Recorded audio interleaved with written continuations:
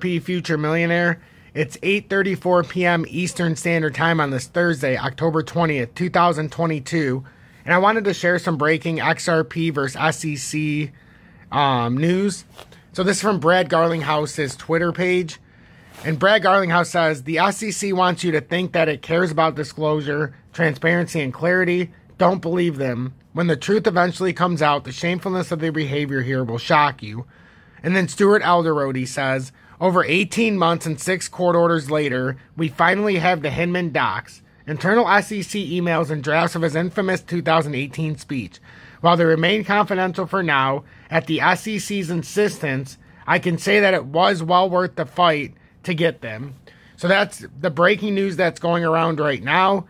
We won't be able to personally see them, but apparently the Hinman documents have now been handed over and unsealed officially. And before I leave, I want to give you the key dates in the XRP uh, upcoming lawsuit, or the, in the lawsuit, but the upcoming dates, just so you don't get misguided or mis. Uh, I don't know, and just so you don't have misinformation that this is not ending today. So no matter what kind of things you see in social media or the FUD that's perpetrated, this still has a lot of things to go on. And I can just tell you this. So the key upcoming dates to keep your head straight.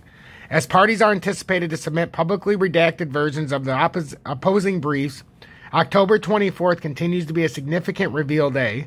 The parties would submit their temporary sealed summary judgment reply briefs on November 15th. The parties would then meet and consult on November 17th to determine the redactions requested by each side in the reply briefs.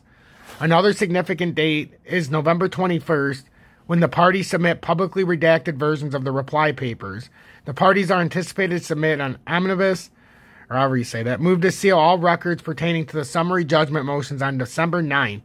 The parties will thereafter support or submit opposition to omnibus motions to seal on December 22nd. And remember, and I shared this before with everybody who's watching this, Ripple CEO Brad Garlinghouse expected the lawsuit to conclude in the first half of 2023.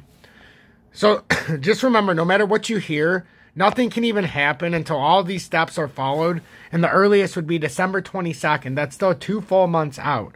So no matter what you see on YouTube or TikTok or any other social media, no matter what you believe, it can't happen until December 22nd. So don't let anybody trick you or fool you into thinking that something's about to happen with XRP or a settlement's about to happen. The bottom line is, is this is good news, but it's not the news that we're looking for.